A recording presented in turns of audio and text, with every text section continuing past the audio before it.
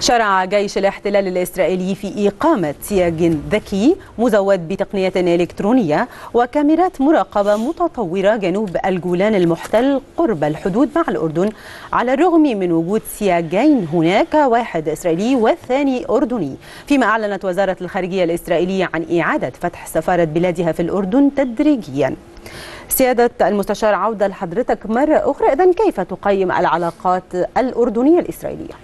شوفي هبدأ من الجزء الأخير اللي حضرتك قلتيه اللي هو إعادة فتح سفارة إسرائيل في الأردن.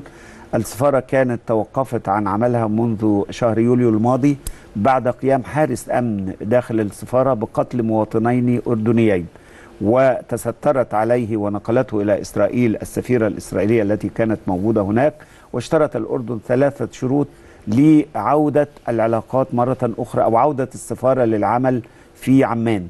الشرط الأول أن يتم تعويض الأسرتين بالإضافة إلى أسرة قاضي أردني قتله حارس أمن إسرائيلي على جسر الملك حسين في 2014 وتم التعويض بالفعل بيتكلموا عن 5 مليون دولار دفعتهم إسرائيل للأسر الثلاثة الشرط الثاني كان يعني قيام السلطات الإسرائيلية باتخاذ الإجراءات القانونية لمعاقبة حارس الأمن الذي قتل المواطنين الأردنيين داخل مقر السفارة الإسرائيلية وتعهدت إسرائيل بذلك.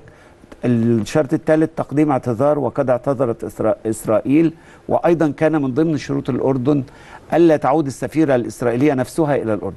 الآن عادت السفارة للعمل وبيبحثوا عن سفير جديد يبعتوه لأن الأردن لن يقبل هذه السفيرة مرة أخرى. أما إجمالا العلاقات المصرية الأردنية ده اتصالا بسؤالك. الحقيقة الأردن وبالذات الملك عبد الله الثاني من والشعب الأردني كله الحقيقة. من أكثر المتأذين والرافضين والمعارضين لقرار نقل السفارة الإسرائيلية الأمريكية إلى القدس. ال ال ال الأسرة الهاشمية في الأردن تشارك في رعاية الأماكن الإسلامية المقدسة في القدس وتعقيدات القضية الفلسطينية تلقي بظلالها على الوضع الأردني أكثر من أي طرف آخر لأسباب ديموغرافية وأسباب جغرافية وأسباب تداخلات عديدة فالأردنيين بما فيهم القيادة الأردنية أكيد في حالة استياء من نقل أو, أو, أو وضع القدس في الوضع الحالي الإجراءات الإسرائيلية في القدس الإجراءات الإسرائيلية في الجانب الاستيطان في الأراضي المحتلة. أعلن